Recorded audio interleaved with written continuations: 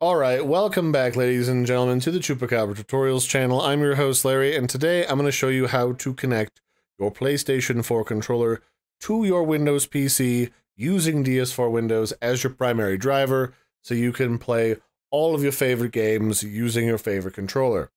I will say right now, you save yourself a lot of time and effort if you just go out and buy yourself a cheap Xbox controller, especially if it's on sale. Otherwise, let's jump in here. So if you Google DS4 Windows, I'll also put the links to these in the video description so you get to the right website. You'll see a few different results. Uh, this one here at the top is unrelated to the actual developer. I don't know who makes this website. Uh, the one you're actually looking for that's trustworthy is the one on GitHub from RyoChan7. Go ahead and open up that bad boy. And we're going to need to download a sum total of three things to get this working today. So the first thing we're going to want to download is the .NET 8 desktop runtime. That's the framework from Microsoft that makes this bad boy function. The second thing we're going to download is DS4 Windows itself. Make sure you grab the x64 zip version here at the top. And we'll just save that to that same folder. And then the last thing we need is the ViGEmBus driver from Nefarius Software Solutions. Go ahead and once again find the GitHub link from Nefarius for ViGEmBus. And then over here, you only need the most recent version, which is right here. There's only one, can't miss it. Once you have all of those downloaded, we're going to open up the folder that they're all in because they're all having a party in here and we're invited. And we're going to install them starting with the Windows runtime, then ViGEmBus, then we're going to open up the DS4 Windows. Uh, these other two programs are pretty simple and straightforward. They just have a pop-up window that runs you through a quick installation guide. Uh, the .NET framework might require you or might encourage you to restart your computer. Uh, if it does, go ahead and do that. I've already got these installed, so I really don't necessarily need to run through them again. I'm just showing you each individual pop-up so you know what they look like. They're really just a standard installation wizard. Go ahead and install both of these. And then once you're done, we're going to open up the DS4 Windows file we're going to extract it with either WinRAR or WinZip or 7-zip to a file of the same name, just to make sure things stay nice and tidy and not exploding all over our folders. Then I'm going to open this up, and in this main folder here, there's a little icon that's all rainbowy called DS4 Windows that says it's an application. This is what we're going to need to get all this stuff working. So give that a double click to open it, and if everything is installed correctly, you should see this window. It'll ask you if you want to install DS4 Windows in the program folder that it's already in or in your app data folder. DS4 Windows is prone to breaking or freaking out and having like problems once in a while. It's easier to redo all of this setup if you have to by putting it in the program folder. That way, all you have to do is delete the folder and re-extract DS4 Windows, and you can just start from scratch again if you have to. So we're going to click on the program folder, and that's going to open up this other fancy window that says Enable Devices Mapper Support. The easiest way to think about this screen is this enables support for other controllers if you want to use more than your PlayStation 4 controller.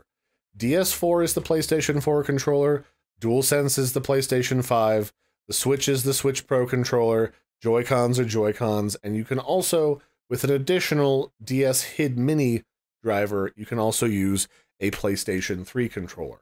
I'll show you how to do that as well with all these different controllers, but not in this tutorial. For PlayStation 4 controllers, just leave this first one checked and then click Close. Then DS4 Windows will open and it'll be like Larry. Larry, my buddy, my pal, my friendo, I don't see any controllers plugged in. And that's because I don't have any of them plugged in because I'm a wild, crazy man and I'm going to plug one in right now which is you may or may not hear the noises. And as I plug it in, it will appear here in this list of controllers. This, in theory, can handle up to eight controllers. In practice, I've maybe gotten two to work with this before it starts to freak out, and it really just depends on your computer. And really, basically, right now, you're good to go. You don't really need to do anything else. You don't really need to set anything else up. Once you see this here, you can play any of your games as long as you leave window, you know, DS4 Windows either minimized in the system tray or just open on your desktop, it'll function as a driver so you can play your games. Now, there is one little caveat to that, and that is your computer is going to think that this is an Xbox 360 controller because that's how it works. It tricks your computer into thinking this is an Xbox controller because that's the controller that most games have drivers or compatibility for on the PC. It's not because they don't want to show you PlayStation buttons, it's because in a lot of cases they can't. Now, if you know for a fact that your game can display PlayStation buttons and can function with a PlayStation 4 controller, it just needs a little help. I will show you how to change the settings so that you can display PlayStation 4 buttons. The simple answer is you see this little thing here? This is my PlayStation controller. And the the selected profile is the settings profile. Right now I'm using the default one. And if I click on this edit button, it'll edit that settings profile. This is where I could click on any one of these buttons and it would bring open a menu where I could rebind it to any Xbox controller button or any one of these keyboard buttons on the screen. If I wanted to. But what I want to do instead is I want to go up here. You see how there's these little tabs here above like all these different settings that are probably making your eyes glaze over. Click on other, and then at the top, emulated controller. It's currently emulating an Xbox 360 controller or pretending to be an Xbox 360 controller. Click it and click DualShock 4 and then click save at the top of this little settings window. Now, presto chango bingo bango, my computer now thinks that this is a PlayStation 4 controller properly. If for whatever reason it stops working in your game, because this will confuse a number of games into thinking there's nothing plugged in for a controller, then all you have to do is click on Edit again. To revert this, just go back to Other, and then put emulated controller back to Xbox 360 and click Save, and it'll once again be pretending that this is an Xbox 360 controller.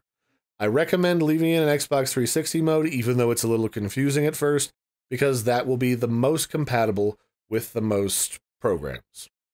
So anyway, that'll be it for this one, ladies and gentlemen. I've been your host, Larry. Don't forget to like and subscribe, and I will catch you next time. Bye, everybody, and have a good one.